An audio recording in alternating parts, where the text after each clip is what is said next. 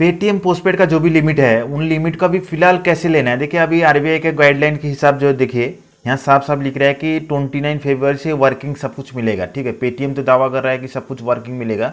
अभी फ़िलहाल क्या क्या अपडेट है, वो भी बता देता हूँ। देखिए, अभी पेटीएम पोस्टपेड बहुत सारा कमेंट आ रहा था। पेटीएम पोस्टपेड का जो भी लिमिट मिला होगा, उसको कैसे लेना है, बहुत ही अच्छे तरीके से आपको बता देता हूँ। यहाँ देखिए, मेरा जो लिमिट दिखा रहा है यहाँ पर, दो हज़ार का लिमिट दिखा रहा है। आपका भी जितना होगा सारा का सारा लिमिट अब कैसे इस्तेमाल कर सकते हो? नया अपडेट के साथ बता रहा हूँ। अभी देखिए, सबसे पहले तो दो तीन ट्रिक आपको सबको पता होगा। आपको मोबाइल रिचार्ज कर सकते थे। वहाँ पर पेटीएम पोस्टपेड का यूज़ कर सकते थे, ठीक है? अभी देखिए, कुछ भी आपको रिचार्ज करना चाहते हैं तो रिचार्ज अभी करते नहीं, मैं दिखाता हूँ। आपको ऑप्शन आ रहा है कि नहीं आ रहा है? देखिए, आप कोई भी रिचार्ज करना चाहते हो तो ऑप्शन में प्रेस करके देख सकते हो कि पेटीएम पोस्टपेड का ऑप्शन आ रहा है। देखिए, यहाँ पर मैं चेक कर रहा हूँ। अभी देखिए, फ़िलहाल देखिए पेटीएम वॉलेट आ रहा है। और जो है पेटीएम बैंक भी दिखा रहा है।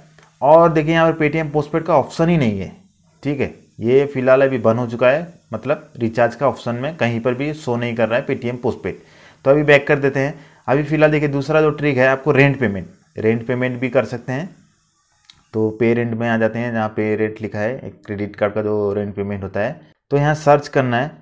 जो लिखा है रेंट पेमेंट देखिए यहाँ साफ़ साफ़ आ रहा है सर्च के ऑप्शन के ऊपर ही रेंट पेमेंट तो उसमें जैसे क्लिक करेंगे, आपको सब पता होगा। उसमें अभी देखिए कुछ एरर आ रहा है। मतलब वो भी फ़िलहाल अवेलेबल नहीं मिलेगा। इसमें भी अवेलेबल नहीं मिलेगा। तो देखिए दूसरा तो ट्रिक बंद हो चुका है। अभी देखिए और जो है मर्चेंट अकाउंट जैसे समझ लो कि मेरा ये मर्चेंट अकाउंट है। एक पर्सनल बैंकिंग है, सब लोगों को मिलता है। जो बिज़नेस रहता है, जो दुकानदार का क्यू आर कोड स्कैनर रहता है, वहाँ पे स्कैन करेंगे पेटीएम मर्चेंट अकाउंट में। तो आपका स्कैन करते ही आपको पेटीएम पोस्टपेड का वहाँ लिमिट दिखाएगा, ठीक है? तो इसी तरह से मैं भी देखता हूँ, अभी मैंने कुछ दिन पहले मैं दुकान बारा में स्कैन किया था तो वहाँ पर पेटीएम पोस्टपेड का लिमिट यूज़ किया था। तो अभी चले जाते हैं, अभी मैं क्या करता हूँ, दूसरे किसी का तो आपको क्या कहना है, दूसरे किसी का स्कैनर में, जैसे मर्चेंट अकाउंट में, दुकानदार के स्कैनर में, मैं देखता हूँ कि मेरा वहाँ ऑप्शन आ रहा है कि, देखिए अभी हंड्रेड रुपीज़ में ट्राई करता हूँ। अभी देखिए, पेटीएम पोस्टपेड लोन यहाँ दिखा रहा है, ठीक है? पहले तो यूपीआई रहता है लाइट रहता है और पेटीएम बैंक रहता है वॉलेट और पेटीएम लोन तो इसमें आपको क्लिक करेंगे। जैसे क्लिक करेंगे, देखिए यहाँ साफ़ साफ़ लिख रहा है कि आपको करंटली अवेलेबल नहीं मिलेगा। मतलब जो पेटीएम की तरफ़ से पेटीएम पोस्टपेड लोन अभी कहीं यूज़ नहीं कर पाएँगे। देखिए, आप बहुत सारा वीडियो आप देखे होंगे यूट्यूब में।